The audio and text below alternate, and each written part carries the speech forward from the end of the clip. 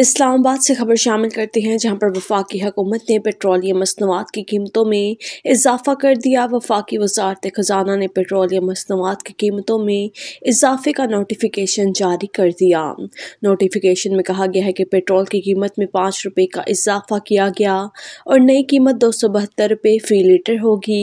High speed diesel की कीमत तेरह रुपये इजाफे के बाद दो सौ तिरानवे रुपये फ़ी लीटर होगी, जबकि मिट्टी के तेल दो रुपये छप्पन पैसे। महँगा होकर एक सौ नब्बे रूपए उनतीस पैसे फ़ी लीटर हो गया। लाइट डीजल की कीमत बरकरार रखी गई है और नई कीमतों का इतलाक आइंदा पंद्रह रोज के लिए होगा।